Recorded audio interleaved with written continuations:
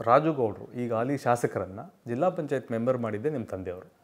ಆದರೆ ಅವರು ಪಕ್ಷಗಳನ್ನು ಬದಲಾವಣೆ ಮಾಡಿ, ಬೆಳೆಸಿದವ್ರನ್ನೂ ಬದಲಾವಣೆ ಮಾಡಿ ಈಗ ಶಾಸಕರಾಗಿದ್ದಾರೆ. ಇವತ್ತಿಗೂ ಅವರು ನಿಮ್ಮ ತಂದೆಯವರನ್ನ ನನ್ನ ರಾಜಕೀಯ ಗುರುಗಳು ಅಂತ ರೆಡಿ ಇಲ್ಲ ಅವರು. ಹೇಗೆ ಅವರು ನಿಮ್ಮ ತಂದೆಯ ವಿರುದ್ಧವಾಗಿ ಒಬ್ಬರಿಗೆ ಹೆಲ್ಪ್ ಮಾಡಿದವ್ರ ವಿರುದ್ಧವಾಗಿ ನಿಂತ್ಕೊಳ್ಳೋದಕ್ಕೆ ಸಾಧ್ಯ ಆಯಿತು ಅಂತ ನಿಮ್ಗನ್ಸುತ್ತೆ? ಇದಕ್ಕೆ ಬರೀ ರಾಜಕೀಯ ಮಾತ್ರ ಕಾರಣನ?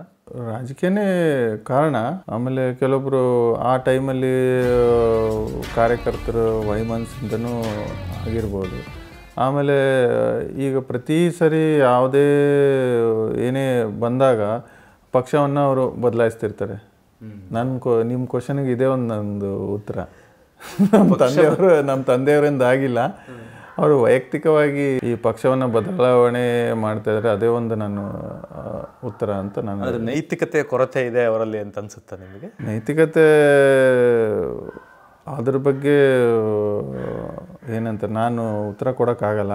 ಯಾಕಂದರೆ ಅವರನ್ನು ನಾನು ಪರ್ಸ್ನಲಾಗಿ ನಾನು ನೋಡಿಲ್ಲ ಯಾವಾಗಲೂ ನೋಡಿಲ್ಲ. ನಮ್ಮ ತಂದೆಯವರೇ ಬ ಬೆಳೆಸಿದ್ದಾರೆ. ಆದ್ರೂ ಮಾತಾಡೋ ಶೈಲಿ ಅದು ಸರಿಯಲ್ಲ.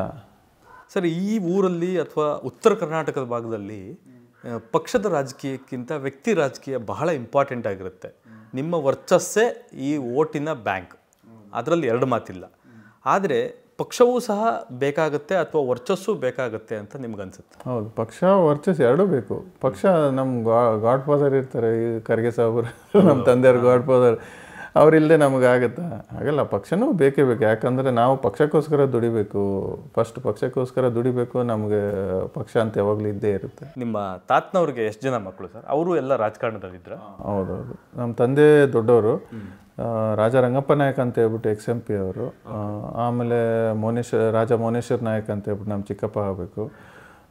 ಅವರು ತಾಲೂಕ್ ಪಂಚಾಯತಿ ಅಧ್ಯಕ್ಷರಾಗಿದ್ದರು ಆಮೇಲೆ ರಾಜ ಶ್ರೀರಾಮ್ ನಾಯಕ್ ಅಂತೇಳಿ ನಮ್ಮ ಗುರುಪ್ ಅನ್ಬೋದು ಅವರು ಲಾಸ್ಟ್ ತಮ್ಮ. ನಮಗೆ ಅಣ್ಣ ತಮ್ಮಂದ್ರ ಥರ ಇದ್ದರು ಅವರು. ನಾಲ್ಕು ಜನ ಅಣ್ಣ ತಮ್ಮಂದರು. ಸರ್, ಇವತ್ತಿನ ಚುನಾವಣಾ ವಿಚಾರಗಳು ಆಯಾ ಕ್ಷೇತ್ರಗಳಿಗೆ ಸಂಬಂಧ ಪಡೆದೇ ಇರುವಂಥ ಪರಿಸ್ಥಿತಿಯನ್ನು ನಿರ್ಮಾಣ ಮಾಡಿಬಿಟ್ಟಿದ್ದಾರೆ. ನಿಮಗೆ ಏನನ್ಸುತ್ತೆ ಅನಿಸುತ್ತೆ ಸರ್ ಇದ್ರ ಬಗ್ಗೆ? ಯಾಕಂದರೆ ಬಿ ಜೆ ಪಿ ಕೇಂದ್ರದಲ್ಲಿ ಅಧಿಕಾರಕ್ಕೆ ಬಂದ ನಂತರದಲ್ಲಿ ಮಾತಾಡ್ತಾ ಇದ್ದೀನಿ ನಾನು. ಚುನಾವಣಾ ವಿಚಾರಗಳು ಅಂದರೆ ಹಿಂದುತ್ವ ಕೋಮುವಾದ ಅಥವಾ ಸ್ಕ್ಯಾಮ್ಗಳು. ಮೊದಲು ಹೇಗಿತ್ತು ಅಂದರೆ ಇನ್ನೂರ ಇಪ್ಪತ್ನಾಲ್ಕು ಕಾನ್ಸ್ಟಿಟ್ಯೂನ್ಸಿಯಲ್ಲಿ ಇನ್ನೂರ ಇಪ್ಪತ್ನಾಲ್ಕು ಇಶ್ಯೂ ಬಗ್ಗೆ ಚುನಾವಣೆ ಆಗ್ತಾ ಇತ್ತು. ಇವತ್ತು ಹಂಗಿಲ್ಲ. ರಾಜ್ಯದಲ್ಲಿ ಯಾವ ಇಶ್ಯೂ ಇರ್ತದೆ ಅದೇ ಸುರಪುರಕ್ಕೂ ಅಪ್ಲೈ ಆಗ್ಬಿಡುತ್ತೆ. ಇನ್ಯಾವುದೋ ಮೈಸೂರಿಗೂ ಅಪ್ಲೈ ಆಗುತ್ತೆ, ಇನ್ಯಾವುದೋ ದಾವಣಗೆರೆಗೂ ಅದೇ ಅಪ್ಲೈ ಆಗ್ಬಿಡುತ್ತೆ. ಇದ್ರ ಬಗ್ಗೆ ನಿಮ್ಮ ಅಭಿಪ್ರಾಯ ಏನು ಸರ್? ಮುಂಚೆಯಿಂದನೂ ಇಲ್ಲಿ ಸುರ್ಪುರಿನಲ್ಲಿ ಈ ಒಂದು ಮಾಹೋಲ್ ಯಾವಾಗಲೂ ಕ್ರಿಯೇಟ್ ಆಗಲ್ಲ ಅಂತ ನಮ್ಮ ಅನಿಸಿಕೆ. ನಾವು ನಮ್ಮ ಮನೆಯವರೆಲ್ಲರೂ ಕಲ್ತುಟ್ಟು ಅದನ್ನು ನೋಡ್ಕೊಳ್ತಾ ಇದ್ದೀವಿ. ಅದೇ ರೀತಿ ಸ್ಪೆಷಲ್ ಆಗಿದೆ ಇಲ್ಲಿ ತಿಂತಿಣಿಲಿ. ತಿಂತಿಣಿ ಏನು ಹಳ್ಳಿ ಇದೆಯಲ್ಲ ಅಲ್ಲಿ? ಹಿಂದೂ ದೇವರದು ಮತ್ತು ಮೇಲ್ಗಡೆ ದರ್ಗಾನೂ ಅಲ್ಲೇ ಇದೆ. ಹಾಗಾಗಿ ಸುರ್ಪುರಿನಲ್ಲಿ ಆ ಒಂದು ಇಶ್ಯೂ ಕ್ರಿಯೇಟ್ ಆಗಲ್ಲ.